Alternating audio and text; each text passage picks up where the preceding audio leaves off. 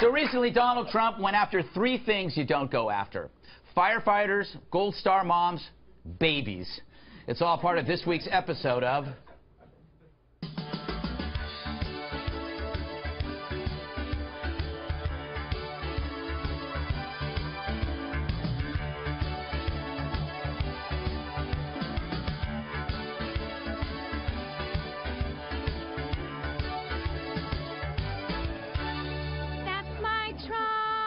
Ah. His first target, the fire marshal at a rally. Now, because of your fire marshal, who I am not a fan of, he's probably a Democrat, probably, probably a guy that doesn't get it. I'm going to go into the other room and say hello to people that didn't get your location. Okay, so before that rally, Trump was actually trapped in an elevator. Do you know who rescued him? The firefighters. By the way, that's a personal fantasy of mine, except I'm dressed like a schoolgirl. All right, second target, Mr. Khan's wife after Khan's convention speak speech. If you look at his wife, she was standing there. She had nothing to say. She probably, maybe she wasn't allowed to have anything to say. You tell me, but plenty of people have written that. Uh, she, uh, she was extremely quiet. Plenty of people have written that, so clearly it's true.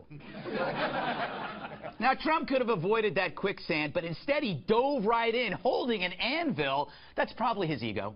Then in Virginia, he encountered one of those crying things. The biggest in the world, the Chinese bank. Don't worry about that baby. I love babies. So I love babies. I hear that baby crying. I like. I like it. What a baby. What a beautiful baby. Don't worry. Don't worry, don't worry, I'm not going to eat it. Don't worry about your baby. If only it stopped there. Ripped us absolutely to shreds. Actually, I was only kidding. You can get the baby out of here. That's all right. Don't worry. I, I think she really believed me that I love having a baby crying while I'm speaking. The child was never seen again.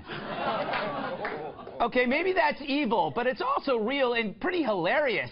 Uh, here's what he said, however, after a vet offered Trump his Purple Heart. He said, That's my real Purple Heart.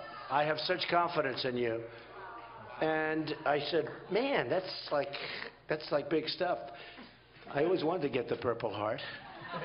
This was much easier. Amazing. So is he nuts? or just being honest? Or could it be a little bit of both, like this guy? Mr.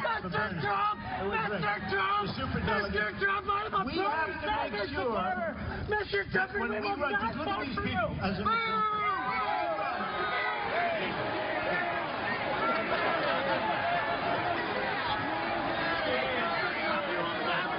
Vote for you, Bernie Sanders!